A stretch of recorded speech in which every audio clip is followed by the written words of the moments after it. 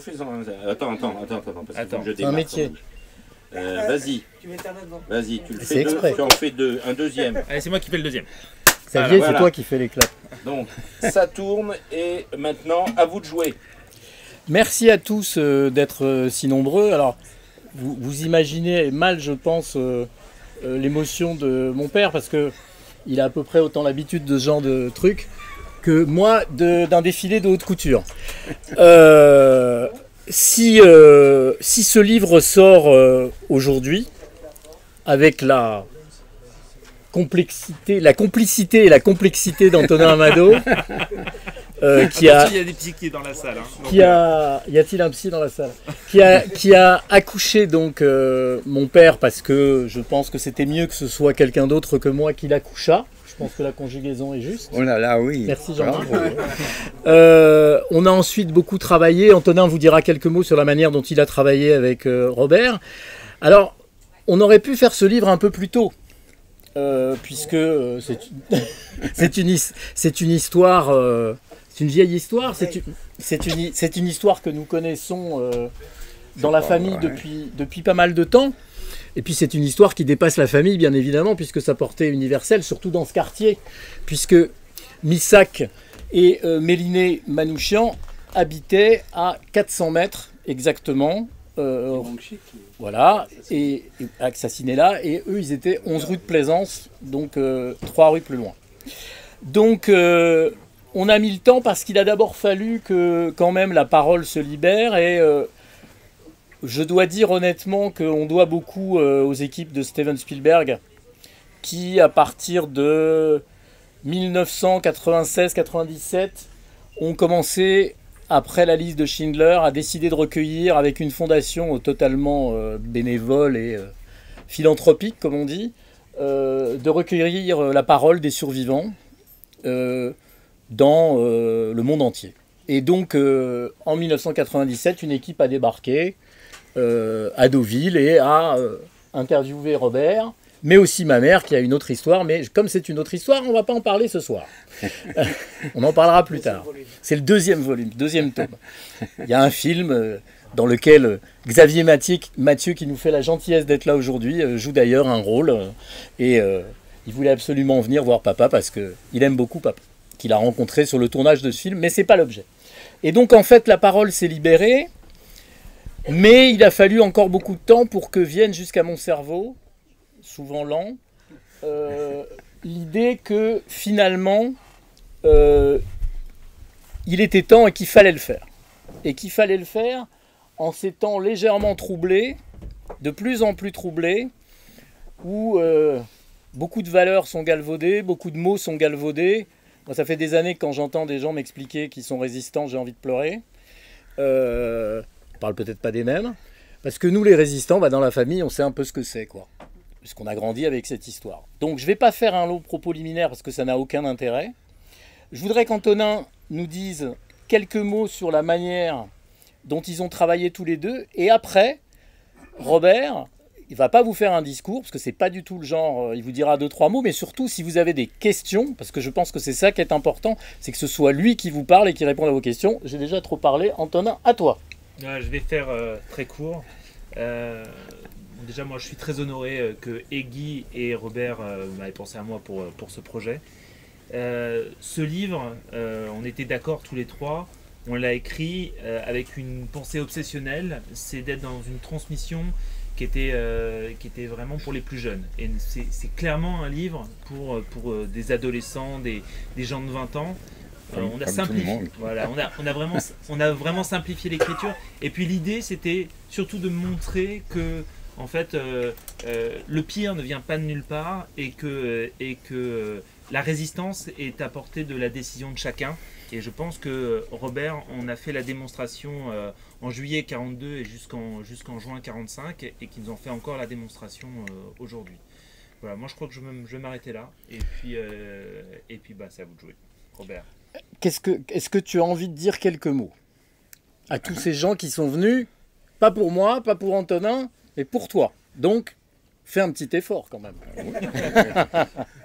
tu sais que j'ai. Il paraît que j'ai la parole euh, assez facile encore, peut-être pour un petit bout de temps.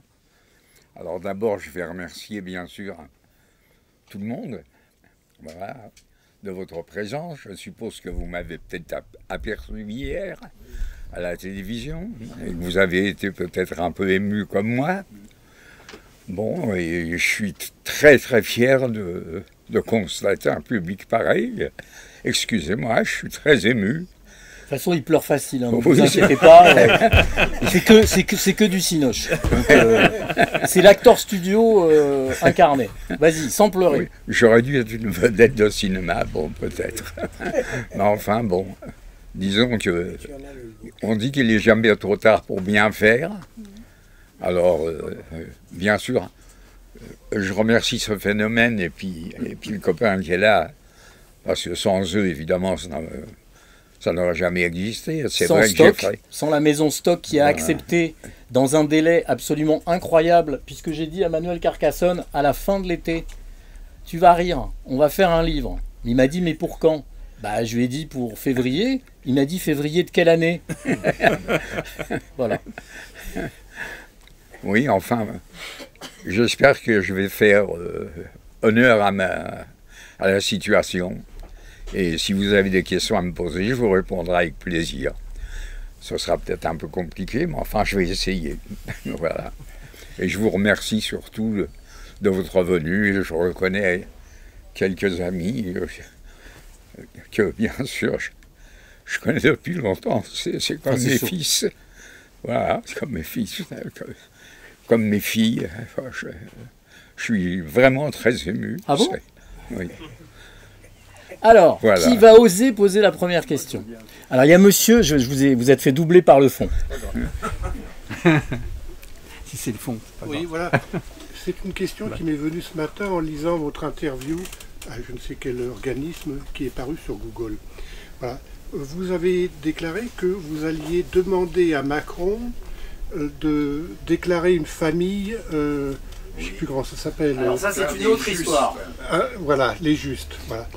Euh, bon, c'est très bien, mais la question que je me pose et que je me posais antérieurement, euh, après avoir lu des livres sur la résistance, c'est pourquoi est-ce que vous, résistants et juifs, juifs résistants, vous ne demanderiez pas que soit classé juste dans les nations, je crois un truc comme ça, l'organisme qui vous a permis de prendre les armes euh, de, combattre pour être libre et qui s'appelle la, jeunesse communiste de 40 à, euh, de 40 à 45 en situant la date parce qu'après c'est de la politique, c'est différent.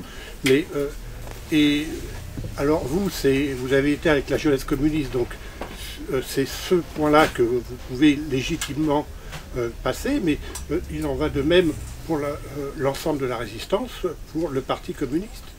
Il me semble que euh, à l'heure actuelle, ça replacerait les discussions à venir dans une autre perspective, euh, certainement plus juste par rapport à ce qui a été votre combat. Voilà. C'est un meeting du Parti communiste. Je, je, vais juste pour plus soyer avec monsieur, c'était un commentaire que je voulais vous faire, bon, à un moment ou à un autre, mais ça me semble. T'avais dit que tu fermais ta gueule. Non, hein. mais tu vas voir, ça va être très court.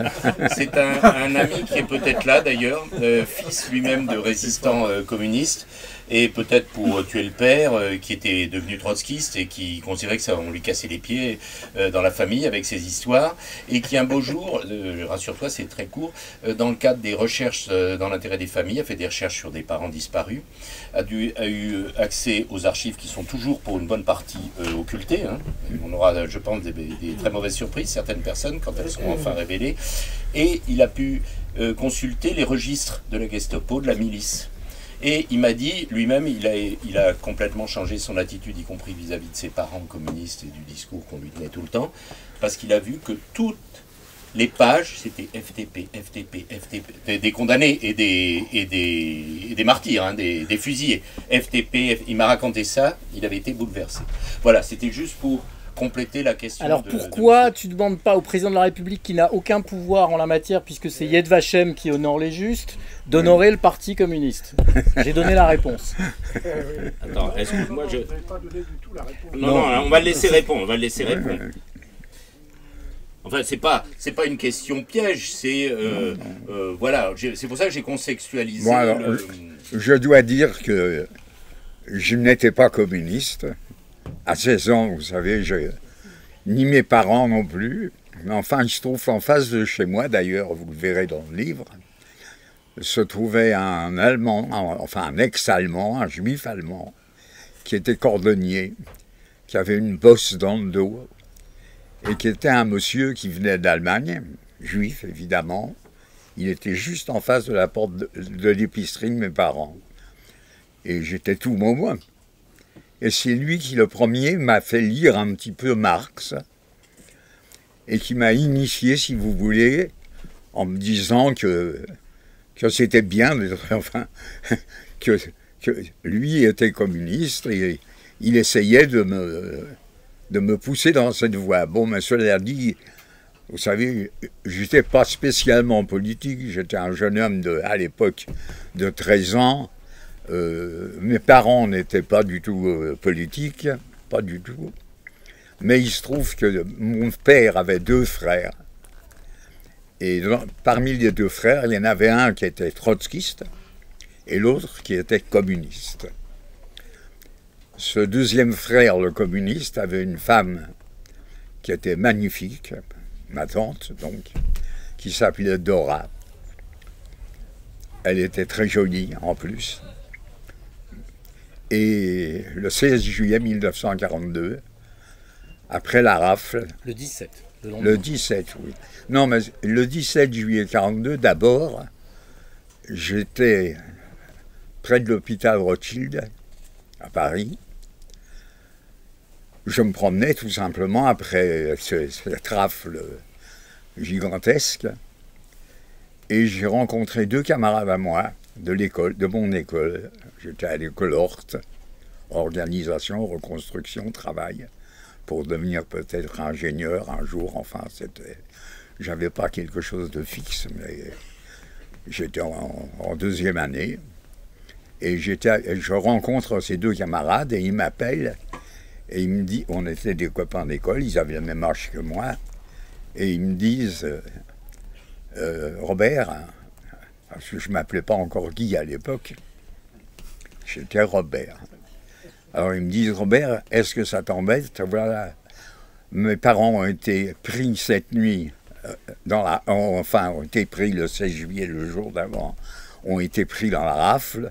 Moi, je suis français, je suis resté. Il avait mon âge. Il s'appelait Maurice Zilbe- Maurice Zilbe- Zilbert. Et le copain lui s'appelait Marcel Kaminski. Et ils me disent, euh, on est embêtés, je voudrais casser la porte. Vous savez qu'à l'époque, quand le 16 juillet, quand ils sont venus, ils ont mis les scellés sur les portes, et évidemment, on n'avait pas le droit d'y toucher. J'étais pas encore dans la résistance, je n'avais rien à voir avec ça. Et mes deux copains me disent, est-ce que tu peux nous aider? J'ai un oncle, Faubourg Saint-Antoine, qui vend des meubles. Est-ce que tu peux nous aider? Je vais prendre une voiture à bras et on va vider l'appartement, on va casser la porte, vider l'appartement et il faut aller jusqu'à la Bastille.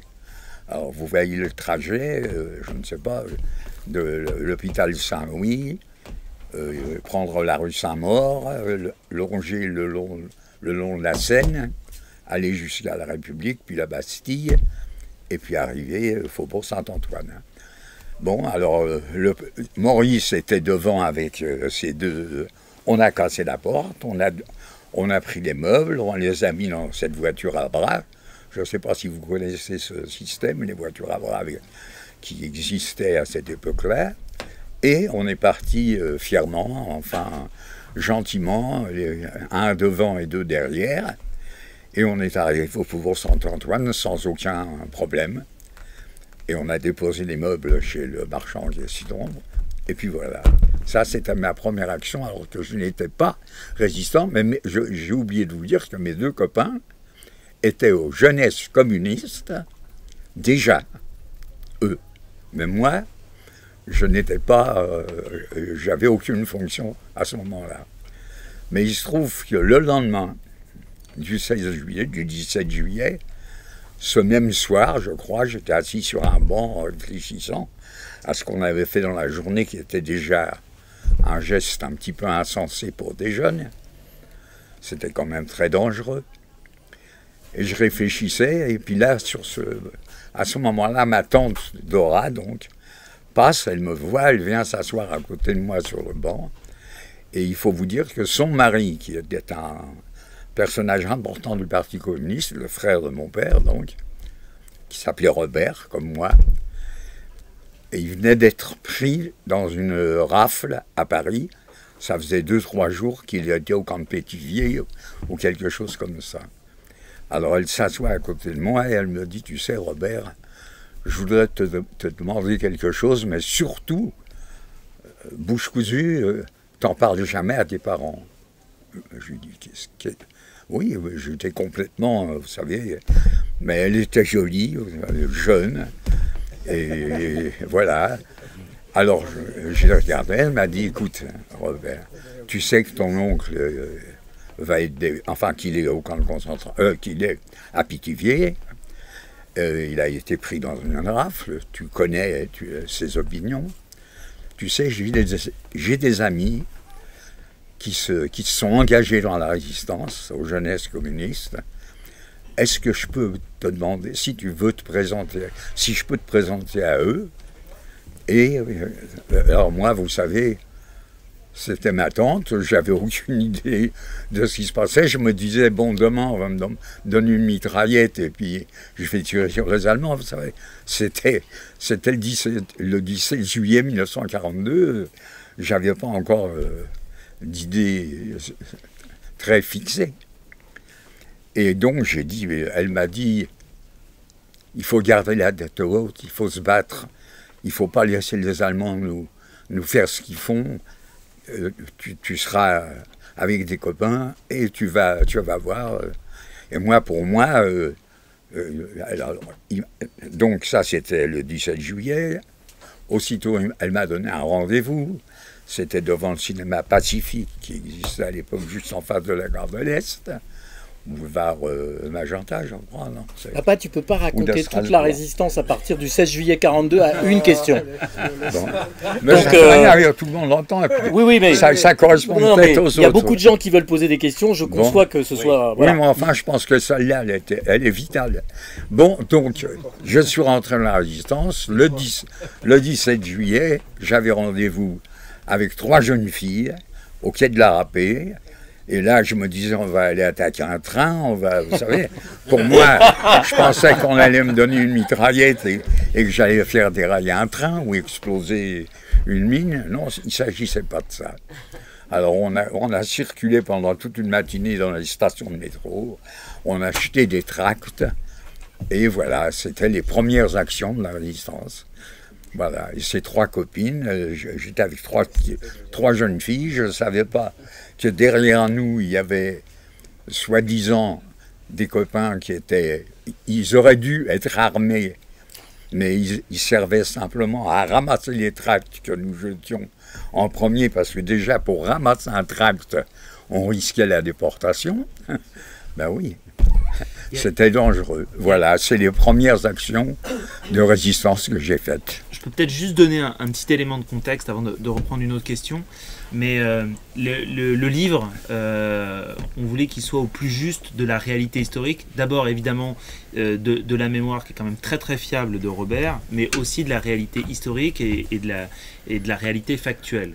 Et en l'occurrence, il y a deux historiens, dont Denis Péchanski et, et, un autre historien qui nous a beaucoup aidé, qui s'appelle Guillaume Pollack, qui nous a permis de vérifier chaque page en réalité du livre. Donc, ce, qui est, euh, ce, que, ce que dit Robert, ce sont évidemment, ce que raconte Robert dans ce livre, ce sont évidemment ses propres souvenirs, mais ce sont des souvenirs qui ont été objectivés euh, à la lumière de deux historiens dont c'est le travail quotidien, euh, dont, dont la, la, résistance à l'occupant nazi pendant la Deuxième Guerre mondiale et le, travail quotidien. Voilà, je voulais juste préciser ça.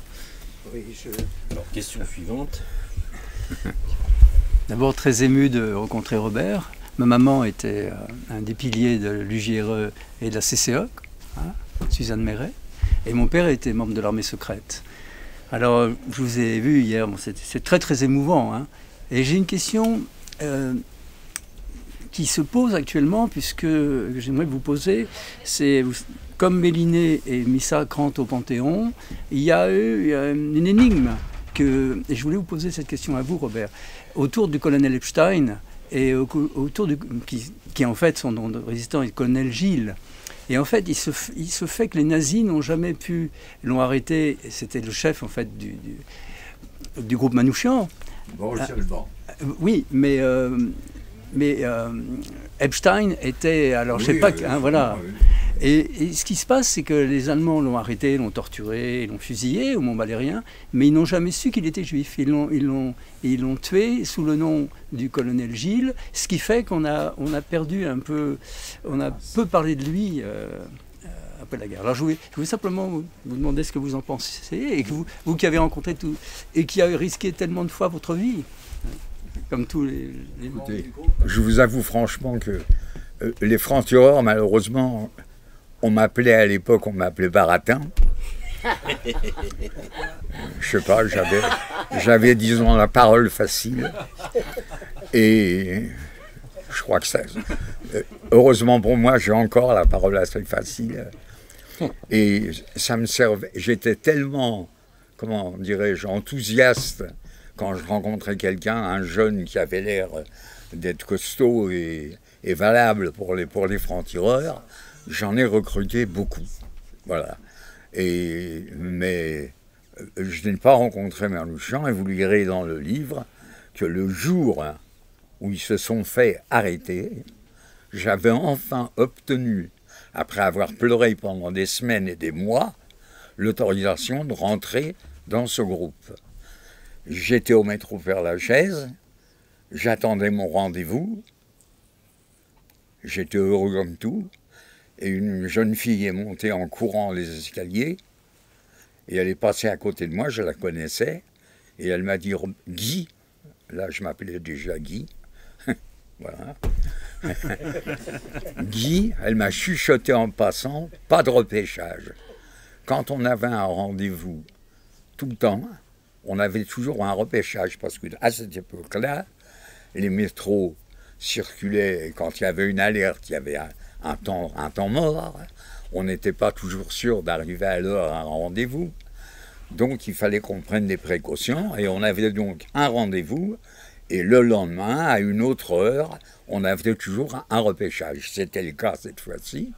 Mais malheureusement, quand elle m'a dit ça, moi j'ai compris tout de suite dans ma tête qu'il y avait quelque chose de très grave. Parce que j'ai vu sa tête et j'ai compris que malheureusement, il y avait quelque chose de grave d'arriver. Et le lendemain, j'ai appris, évidemment, enfin appris, oui, les copains m'ont dit, euh, voilà, euh, il y a une chute, euh, c'était le groupe de Manouchian, Rayman, voilà, ces, ces jeunes-là habitaient tous dans le temps à Belleville. Je sais qu'ils avaient commencé, déjà, il y a une erreur monumentale quand on présente la résistance juive on dit que les accords de Moscou avec Hitler ont fait que le Parti communiste était complètement perdu, l'humanité n'existait plus. Il y, a, toute cette histoire qui est inventée de toutes pièces, parce que je vous signale que dès, le jour qu'il y a eu, je me souviens de réunions de communistes dans mon quartier, mon père était apolitique complètement, mais dans l'arrière-boutique de mon père, les gens de la, rue qui étaient communistes, des trotskistes, les juifs qui étaient, qui étaient dans notre rue, il y en avait pas mal, venant de Pologne, de Hongrie, d'Allemagne, ils se réunissaient chez mon père, tout en n'étant pas d'accord sur tout, mais déjà à cette époque-là, eux pensaient que c'était un accord euh, complètement bidon, et cette chose qui est qu'on répète, que, la droite répète depuis toujours, que les communistes ont attendu que Staline attaque euh, euh, Hitler pour démarrer, mais ça c'est faux. Je le sais, j'ai mon copain Henri Krasuki euh, que j'ai très bien connu, alors c'est lui qui témoigne pour moi, un de, ceux qui témoignent pour moi, Et Henri, avec Reymann, qui après, qui était au franc-tireur, avec d'autres camarades, ils n'ont pas attendu que, que Staline euh, attaque Hitler. Ils avaient démarré bien avant. D'ailleurs, Krasicki s'est battu toute sa vie. Toute sa vie, il s'est battu pour qu'on reconnaisse qu'il avait commencé la résistance avant 1941. Voilà, ça fait partie de mon histoire. Une question de la dame là. Alors la dame, elle s'appelle Sophie Blandinière, c'est une de mes très bonnes amies et c'est aussi l'auteur d'un livre absolument formidable sur le ghetto de Varsovie. Je vous recommande vivement ce livre merveilleux qui est paru il y a 3 ans, 4 ans. trois ans. Et donc, euh, question de Sophie. Ma question, c'est en, en août 44, il y a un Allemand qui est dans la rue et qui va euh, prendre cher, comme on dit, enfin, qui va risque de se faire taper et probablement tuer. Et alors que vous avez vu euh, beaucoup de juifs se faire euh, massacrer devant vous, insulter, euh, humilier, euh, Et lui-même. vous et vous-même, Oui. euh, après tous ces massacres, on est en 44 et vous savez, euh, qu'est-ce qui vous pousse? Et cette question, il me semble qu'elle est fondamentale aujourd'hui, à cause de l'actualité. Qu'est-ce qui vous pousse à, à empêcher cet Allemand d'être massacré à son tour? Ah, ça, c'est. Oui, bien sûr. Vous savez, vous connaissez l'histoire, je vois. J'ai été frappé le premier jour où on a mis l'étoile. Où on a mis. J'ai eu le malheur de mettre l'étoile à l'époque. C'était en 1941, en septembre, je crois. J'ai une photo où j'ai une photo. Guy a une photo de moi du jour où on a mis l'étoile. Le premier jour. Sur cette photo, je suis allé au Colorte et il y a sur le côté le fils de la concierge de l'école qui a l'étoile qui vient de coudre. Nous, on ne l'a pas encore. Cette photo existe. Et j'ai été frappé par un groupe d'Allemands qui était à la caserne rue de Tanger dans mon école, qui passait sur le trottoir en face de moi. Moi, je marchais avec des copains non juifs. Dans ma rue, j'avais beaucoup de copains qui n'étaient pas juifs, qui étaient plus âgés que moi. Et on marchait tout simplement, mais j'avais l'étoile, je venais de la coudre. Et je marchais euh, normalement. Et de loin, j'ai vu qu'ils me regardaient d'un drôle d'air. Il y avait la haine dans les yeux, vous savez. Je... De loin, j'ai senti qu'il y avait quelque chose qui allait se produire. Je le savais. J'ai avancé, il s'avançait en face de moi. Et presque arrivé à l'entrée de ma rue, la rue Bello, c'était rue d'Aubervilliers. Et à ce moment-là, les uns derrière les autres, ils étaient une douzaine, ils m'ont frappé jusqu'à ce que je tombe à terre. Et ce jour-là, j'ai dit, je me vengerai. Et c'est le, jour où j'étais sous-officier à la caserne de Reuilly diderot où j'étais dans le poste de garde comme chef de poste, Par la Sophie. Comme j'étais chef de poste, je suis sorti j'ai vu qu'il y avait une, manifestation au milieu de la cour. Je me suis dit, qu'est-ce qui se passe? Je me suis approché et j'ai vu qu'il y avait un jeune gars d'une vingtaine d'années, un Allemand bien sûr, le bras levé, il criait Heil Hitler Heil Hitler. Il ne voulait pas, c'était un prisonnier, on avait des prisonniers allemands à la caserne de Reuilly-Diderot et il. Et, les, et mes copains, enfin les, jeunes qui étaient là autour de lui, ils étaient une vingtaine, comme, comme le groupe qui m'a attaqué moi, ils étaient prêts à le massacrer. Ils, en avaient marre de l'écouter parler. Et moi, ce jour-là, j'ai senti ma vengeance. J'ai dit, moi, je suis quand même civilisé. Les Allemands, c'est des monstres. Mais je, n'ai pas voulu qu'ils continuent. Je les ai stoppés. J'étais sous-officier. J'ai dit stop, les gars, on le ramène dans sa cellule, mais le gars n'en démordait pas, et Hitler a Hitler. Voilà, c'est une des petites aventures. Ce jour-là, j'ai senti que j'avais ma revanche. Autre question Attends, attends, attends, il faut. il y a- C'est C'est bon, c'est reparti. C'est reparti. reparti. Allez, c'est reparti. Alors, Any questions? Moi, je, je- pendant que la, la question arrive, euh, on a parlé donc de Manouchian, évidemment, les circonstances s'y prêtent. Donc, euh, je suppose que euh, euh, Guy vous a transmis mon message en rappelant que quand même on était entre Raymond Losserand et Marcel Paul. Donc, euh, ça Oui, vous dit je- des choses. ça. Je vous dis, non, mais je vous dis la vérité, je ne savais pas qu'il habitait ce quartier. Eh. Il vous l'a peut-être dit à vous, mais moi je ne le savais pas. Et il se trouve que j'ai jamais connu Manouchian, je peux pas, je peux pas me vanter d'avoir euh, euh, de choses que je n'ai pas vécues. Mais bien sûr, je connais, je savais toutes les actions qu'il menait, puisque j'avais embauché quelques copains qui étaient dans son groupe. Vous savez, euh, je me souviens plus si Radzinski peut-être a été fusillé aussi. Mais non, il faisait pas partie de ce groupe-là, mais j'étais avec son Et frère. Marcel Paul, tu l'as croisé? Non. Mais Marcel Paul, il a été, euh, bah, il a été chopé. euh, et il a Non. dit, bon, on va pas- Ouais. Marcel Paul, renseignez-vous sur Marcel Paul, vous verrez, vous avez ça sur le site de l'EDF même. Vous comprendrez pourquoi même l'EDF a une, a une Ah, vidéo bah, spéciale sur lui. Et Raymond Losserand quand même. Oui, ben oui, la rue. Et moi, je, je crois que, je crois que, ce, ce que ce que vient de dire euh, Robert est, est très important. euh, C'est-à-dire que Robert, il- a euh, une mémoire qui est très fidèle par rapport à ce qui s'est passé euh, pendant cette période-là. Mais il y a eu énormément de gens qui ont reconstitué leur propre mémoire à travers ce qu'on leur a raconté. Et c'est un phénomène qui est tout à fait humain et qu'on qu'on connaît tous. Et Robert, il a cette capacité à... euh, Il s'est approprié ses propres souvenirs, Oui. mais seulement ses souvenirs. Et, Absolument. et il, y a eu des mo- il y a des moments dans son récit, et d'ailleurs ça ressort dans le livre, où il y a des trous. Et il n'a pas cherché à reconstituer ces trous-là. Il dit Je ne me souviens pas. Et Dieu sait que je vous ai embêté sur, euh, sur la période de l'insurrection. Je pense, qu'on a, je pense que j'ai dû vous poser 30 fois la question. Oui, mais c'est- il y a Et- une expli- mais l'explication, elle est toute simple. Vous savez, pendant l'insurrection, puisque Alors, juste que je, Je- précise, vous, vous vous souvenez de très peu de choses euh, au moment du soulèvement de Paris. Voilà. Le soulèvement de Paris, c'était tellement une chose importante à laquelle j'ai participé à un, haut, à, un haut, à un haut niveau, parce que j'étais quand même, je pense, le cinquième ou le sixième, euh, oui, je crois qu'on était cinq ou six, à la tête de Paris, pendant les jeunesses communistes. Oui, j'étais avec Robert Anvelt, qui a été membre du comité central du Parti communiste jusqu'à 90 ans, qui était notre chef à tous. J'étais avec euh, Pierre Kapievitch, qui était sénateur, qui à la Libération est devenu sénateur et maire de Vaux-en-Velin pendant 10 ans. C'était euh, mon grand frère. Vous savez, quand ils me voyaient, ils avaient tous 4-5 ans plus que moi. Ils me prenaient, ils m'embrassaient. J'étais le, le petit chouchou, le petit chouchou des chefs, de, nos chefs, que ce soit Robert, que ce soit euh, Henri Krasuki. Enfin, lui, il a été pris, il a été déporté au cours. euh, voilà.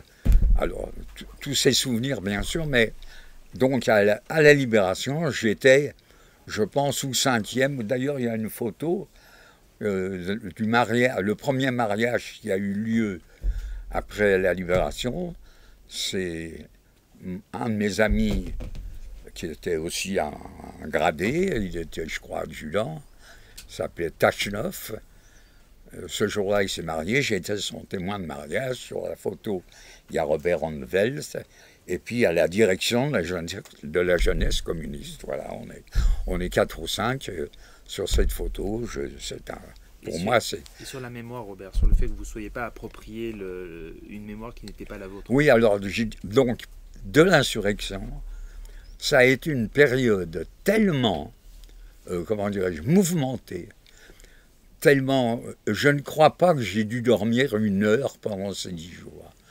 De temps en temps, je me couchais par terre, j'étais rue Georges Lardenois, dans mon, dans mon ancienne école, puisque je l'avais quittée, mais on a occupé cette école, et j'y étais avec mes, avec mes troupes, avec mes copains, je donnais les ordres, mais je vous avoue, c'est quelque chose d'inimaginable, mais on a tellement bossé dur pendant cette période que je ne me souviens, pour ainsi dire, de, rien. Sauf de temps en temps, il me revient un truc, alors, alors j'ai un ou deux souvenirs, et je ne l'ai pas mis dans le livre, alors je vais vous en parler tout de suite.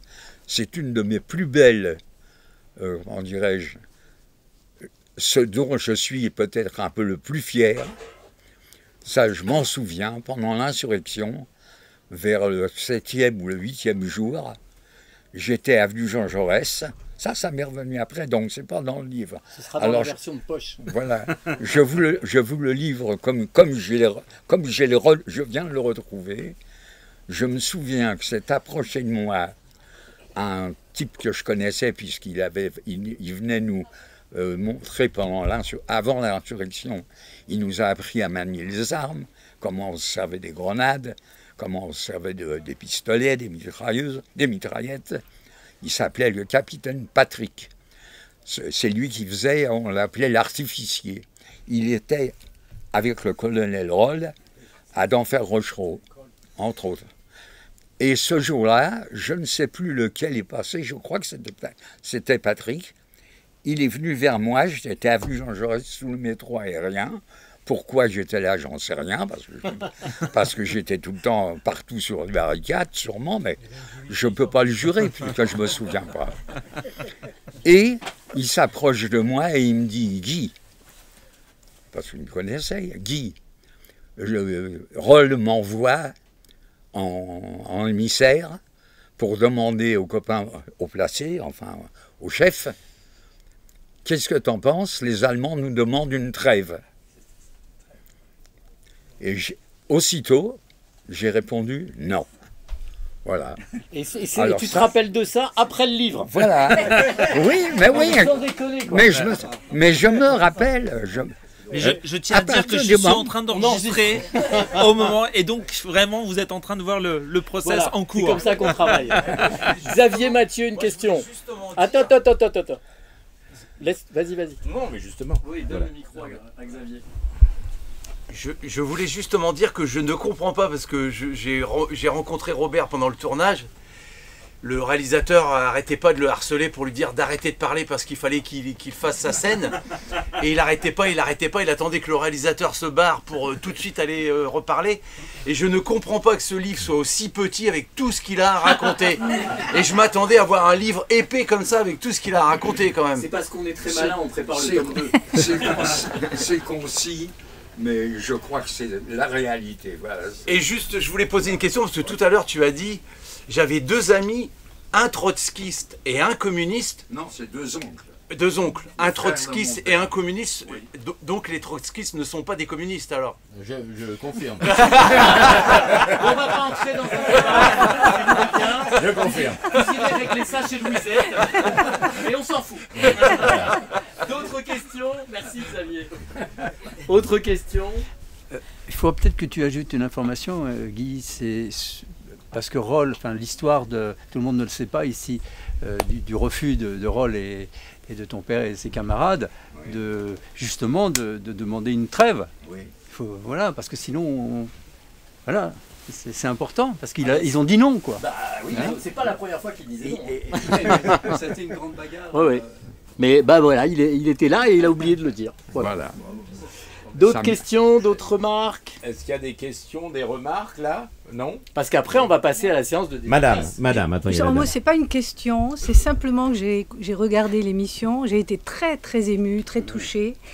Et quand vous dites à un moment donné, je ne crois pas en Dieu, je ne crois pas en ci, je ne crois pas en là, mais vous n'avez pas besoin de croire en cela, puisque vous avez, vous, cette euh, flamme de vie, et c'est ça, le véritable Dieu, je pense, c'est cette vie qui anime et qui permet aussi, dans des, cas particuliers, comme celui que vous avez eu, rencontré de, cet homme que vous auriez très bien pu laisser faire tuer, et que là, on voit que s'exprime autre chose. Et ça, c'est important. Et ça, moi, ça m'a beaucoup, beaucoup touché. Voilà, c'est tout. Vous savez, je suis assez rigoriste dans, dans mes opinions. Je l'ai toujours été. Je ne sais pas euh, inventer, mentir.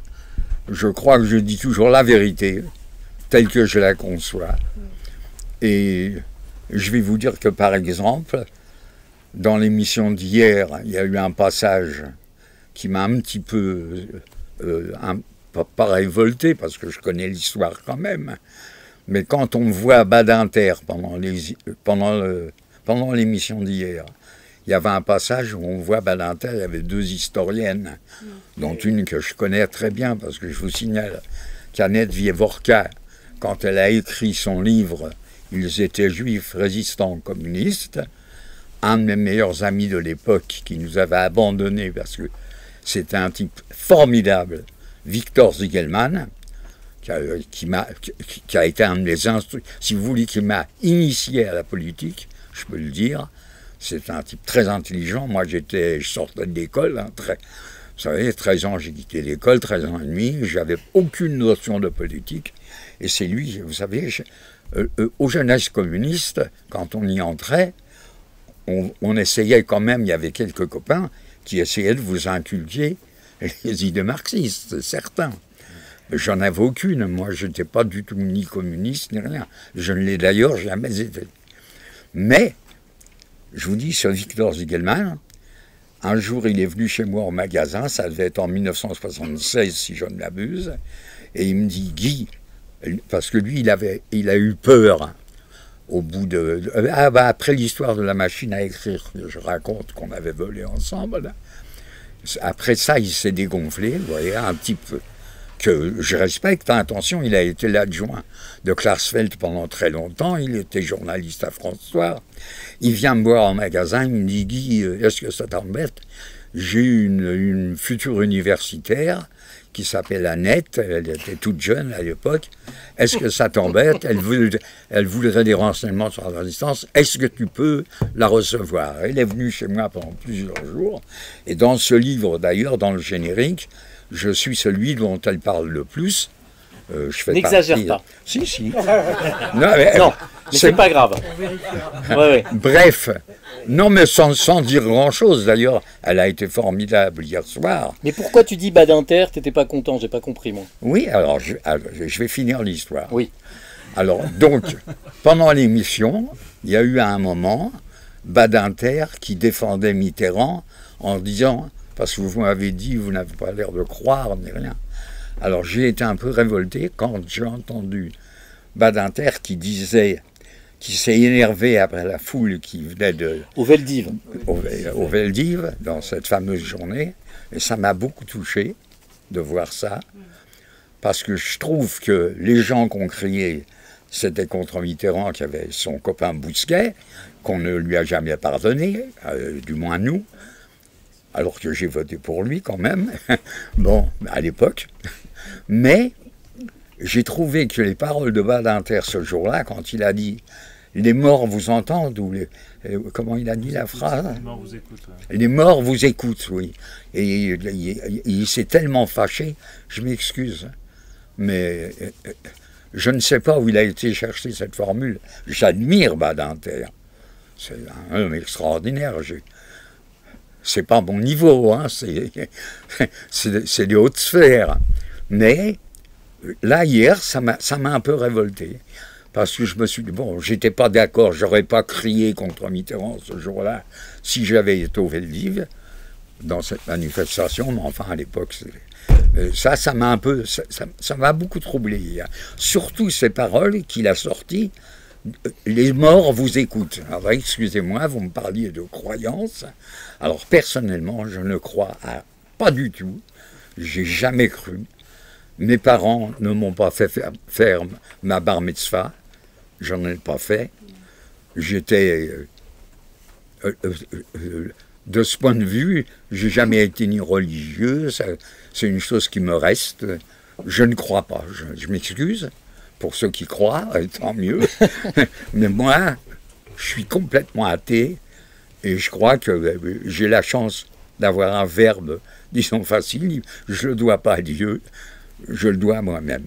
Voilà. Encore, La force de vie. c'est ça. Force, Encore une ou deux questions et puis après il va falloir quand même qu'on laisse euh, Robert un peu dédicacer ses livres. Monsieur, Euh, déjà au début j'étais euh, impressionné par votre mémoire et je me disais euh, quelle chance il a. Et puis après ça m'a rassuré de voir qu'il y a des choses dont vous ne vous souvenez pas. Ben, ça, ça me rassure. Ma question, euh, j'ai cru comprendre. Alors donc vous avez dit que vous ne deviez absolument pas parler de tout, ce que vous avez fait euh, à vos parents. Alors comment ça s'est passé? Tout ça Ça a dû être très difficile. Et comment ça s'est passé après? J'ai cru comprendre qu'après, ils vous en ont voulu. Un petit peu, pendant un certain temps. Non, voilà. Euh, vous savez, le nom Baratin qu'on m'avait donné pendant la guerre, il y avait à l'époque Roger Nicolas qui portait ce titre. C'était un humoriste formidable. Et on, me disait à moi que j'étais Baratin. Et c'est vrai que j'ai recruté beaucoup de camarades pour, pour les francs-tireurs ou pour la jeunesse communiste. j'avais un certain, un certain don de persuasion, dirais-je. Mais il se trouve que mes parents, surtout ma tante m'avait dit, euh, ne dis jamais à tes parents que, je... Bon, mais euh, c'était, c'était ancré en moi, j'ai rien dit. Mes parents étaient apolitiques, mais alors complètement. J'ai raconté une histoire de, de- qui tient pas debout. Je lui ai dit, un de nos professeurs à l'école Horte a une villa en banlieue. Comme il y a des rafles tout le temps à Paris, il veut ce que ses deux meilleurs élèves, moi et un copain, euh, je- ça n'existait pas. Il s'appelait Monsieur Appelbaum. Il était très gentil, mais il m'a jamais rien proposé de tel. mais j'ai inventé cette histoire en cinq minutes et j'ai dit à mes parents voilà, il nous prend chez lui le soir pour éviter qu'on se fasse rafler. Parce qu'à l'époque, bon, on sortait un petit peu après 8 heures, on, on cachait les étoiles, alors qu'on n'avait pas le droit. On, on allait aussi, on allait dans certains endroits où on n'avait pas le droit d'aller. On y allait quand même. On était quand même un petit peu insouciant. On faisait attention, bien sûr. Mais j'ai donc raconté à mes parents cette histoire de fou. Ils m'ont cru. Voilà. Ah Deux bah pendant toute la guerre. Pendant toute la guerre, ils n'ont jamais, jamais pensé. J'étais déjà sous-officier engagé dans l'armée française, en uniforme.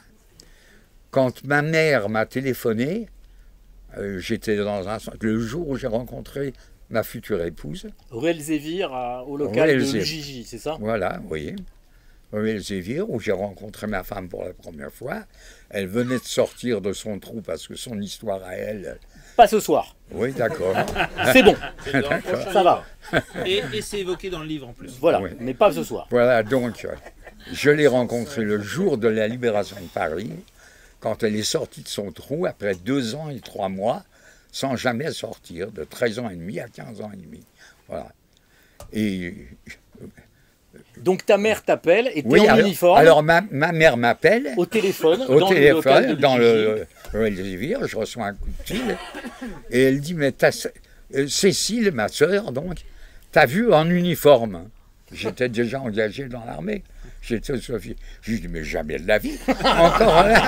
Devant tous les gens qui le voient en uniforme Oui, et qui oui. entendent la conversation, bien évidemment. Oui, oui. Dont, ma mère. sa future Dont femme, ma mère qui vraiment est une- vraiment. Enfin bon.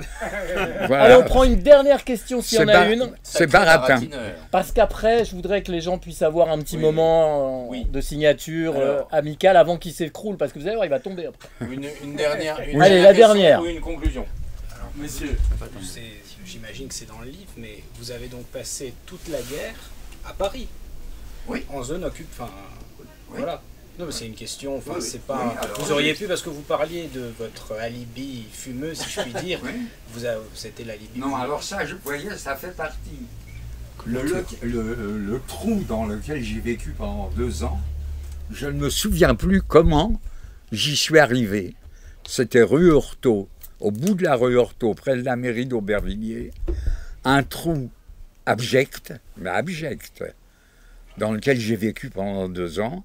Quand ma mère, euh, j'ai eu le malheur de lui dire, euh, parce que là, c'était la libération, elle savait déjà que j'étais dans l'armée, et je lui dis, si tu veux prendre mes affaires, je te donne l'adresse où j'étais. Quand elle est arrivée dans mon trou, elle est tombée raide, évanouie. Et, et juste pour, qu'on- pour, pour peut-être compléter, et, et après on va laisser la, la place Ouais. aux dédicaces, mais euh, il y a quelque chose qui moi m'a beaucoup étonné dans le récit de Robert, c'était euh, que dans l'inconscient collectif, il y a une porosité, il y a, il y a une, une étanchéité des différentes cellules de, de- de résistance.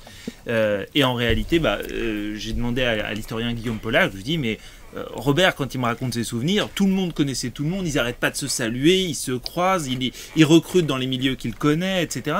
Et me dit non, mais euh, euh, le, mythe de, l'étanchéité des, cellules de la résistance, sont, euh, c'est tout, à fait, euh, c'est tout à fait faux en réalité. Il y avait une très grande porosité et les FTP ont payé un, un- un prix exor- exorbitant parce qu'en réalité, le, le- comment dire, le, le- le- le système de renseignement allemand, qui s'appuyait également sur la police française, et puis à la fin sur, euh, sur les milices, notamment les milices de Dardan, était extrêmement efficace. Et, et Guillaume Pollack me disait, mais il faut imaginer de ce que c'est que le Paris occupé avec euh, 20 nazis euh, au mètre carré euh, qui, sont, qui, qui, qui fondent en fait sur les quelques poches de résistance. Et je crois que ce simple fait, ça, ça, ça dit tout le courage de, de, de ces hommes et de ces femmes euh, qui ont résisté alors que tout les incitait à ne pas le faire. De ces très jeunes hommes et de ces. pas ce que c'est, très vous, hein. jeunes- Vas-y. C'est juste pour euh, savoir ce que vous pensez du mouvement actuel qui tend à faire passer la résistance pour euh, plus, plutôt à droite qu'à gauche. C'est-à-dire qu'il y a un mouvement Oui, alors, alors ça, qui essaye de faire... voilà, alors, là- alors là, je vais essayer de correcter. Non mais juste... euh, Oui, voilà. Alors écoutez, je peux vous dire. Ça, c'est malin là. Voilà. 20, 20h32. Non, mais j'en ai pas pour longtemps. Dans 4 heures, on est toujours là. Non. Tous les films sur la résistance que j'ai vus, à part un ou deux, j'ai- par curiosité j'y vais, je les vois au cinéma. C'est tout du vent, mais alors, le dernier que j'ai vu, par exemple, Les Femmes de l'ombre, hein, avec leurs mitraillettes là, dans les fusils et des trucs, mais c'est du, c'est une invention pure et, et inimaginable. Vous savez, j'ai été un résistant, c'est vrai. Mais il faut vous on n'avait pas d'armes. On allait les chercher. On, on- on se servait tout seul. De Gaulle, à l'époque, avait dit de Londres on vous envoie des armes, on les parachute. Non, mais il faut se rappeler de ça. On va vous parachuter des armes, mais vous les, laissez planquer et vous ne vous en servez pas. Ils ne voulaient pas que la résistance communiste travaille. Nous, on a toujours refusé, mais on n'a jamais eu ces armes-là. Donc les armes, il fallait se les procurer. On se les procurait sur les Allemands. Voilà. Et ça s'est raconté. Voilà, on a monté des opérations pour récupérer des armes. Et vous, alors, en plus, je vous signale que quand, quand euh, à la libération, tout le monde avait le brassard FFI, nous, on n'en avait pas. hein. Je J'ai jamais mis le brassard FFI. Non, j'aurais pu le mettre. C'est vrai qu'on était des Fran- On avait formé les forces françaises de l'intérieur. Quelques mois avant, Gabi, Robert Anvelt avait rencontré Jean Moulin. Je me rappelle, ils avaient discuté ensemble, ils étaient d'accord pour former les milices patriotiques, ce qu'on appelait les milices patriotiques. On avait changé de nom. On n'était plus les jeunes communistes, on était milices patriotiques. pas de droite alors Non. Ah, non. de droite ou t'étais de gauche? J'étais de gauche, j'étais de gauche. Oh. Allez, merci à tous. Bravo.